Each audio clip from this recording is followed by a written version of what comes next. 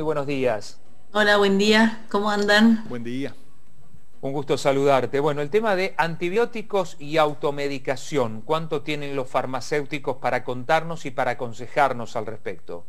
Sí, la verdad que es, em, o sea, se ve mucho el, aumento de la automedicación y está definida directamente por la Organización Mundial de la Salud, que es el consumo indiscriminado por parte propia de distintos tipos de medicamentos o por el consejo de algún amigo o de algún familiar.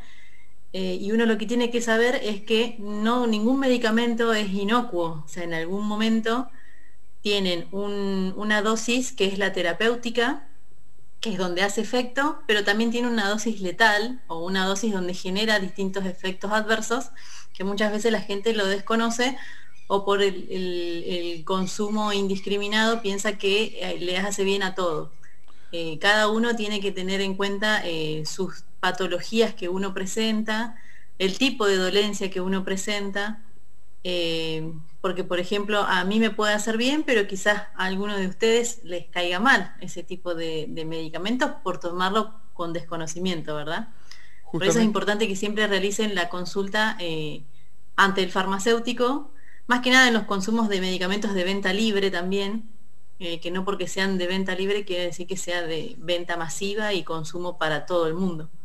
Justamente eso le iba a preguntar, ¿cuáles son los riesgos que tienen este tipo de medicamentos y especialmente eh, qué tenemos que tener en cuenta cuando necesitamos algo que sea de venta libre? ¿Hasta dónde es inocuo o hasta dónde no?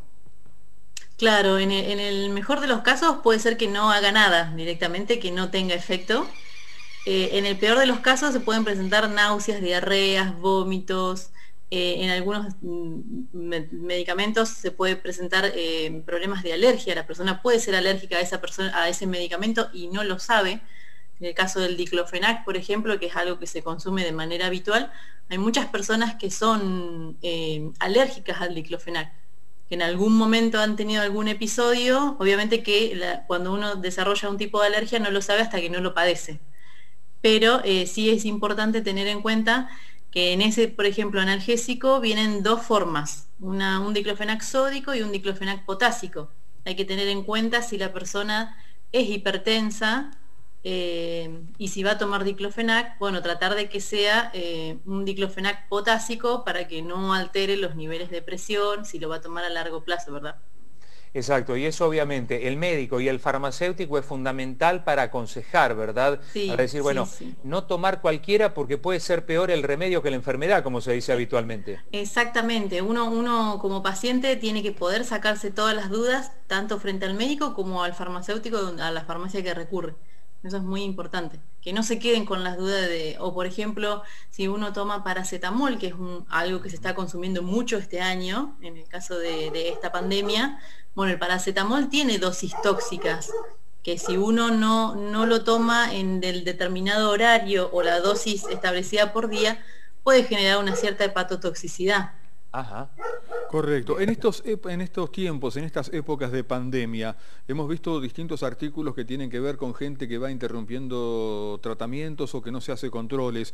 ¿Esa misma gente es la que recurre luego a la farmacia? Total, lo vengo tomando hace tiempo sin eh, consultar al médico correspondiente. Exactamente, muchas veces nos encontramos en la farmacia con que el médico les da un tratamiento eh, pero siempre llegan con la duda de hasta cuándo lo tienen que seguir eh, haciendo a ese tratamiento.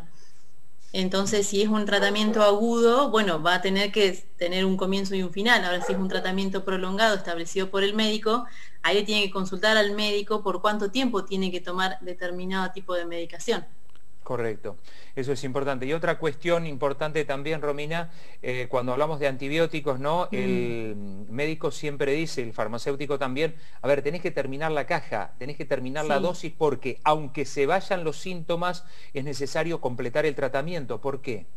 Exactamente. Eh, si bien la aparición a partir en los años 30 eh, fue un boom total de, la aparición del descubrimiento del antibiótico porque ayudaba a a curar muchas enfermedades que terminaban en la muerte.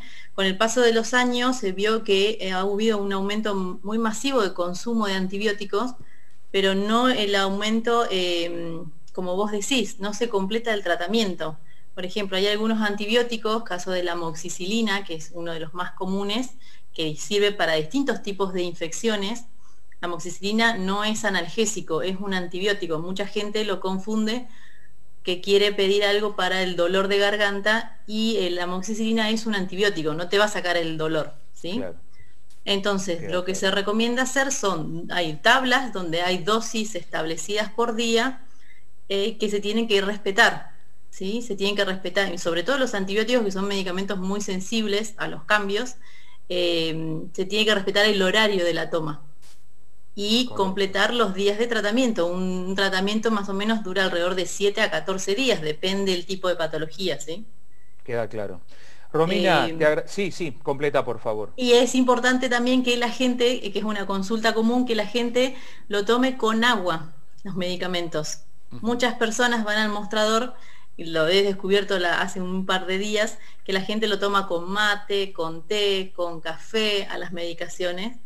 Y ese tipo de, eh, elementos altera la biodisponibilidad de ese medicamento, ¿sí? Entonces es importante que que tomen con un vaso de agua las medicaciones. Está muy bien, muy bien. Buen detalle, es cierto. Bueno, Romina, te agradecemos mucho. Eh, queremos preguntarte en el final el nombre del perrito o la perrita y los teros que tenés cerca de tu casa. la perrita se llama Mora. Mira, igual que la mía. están todas las mañanas ahí. los teros están ahí bueno, también los tuvimos nosotros, nos hicimos vivir un poco de nos hiciste vivir un poco de naturaleza. Contacto con la naturaleza. Totalmente. Te mandamos un beso grande, Romina. Gracias a vos y a toda la gente del colegio. Gracias. Romina Badaloni, eh, del Colegio de Farmacéuticos, Antibióticos y Aplicación, la verdad que eh, importantísimo.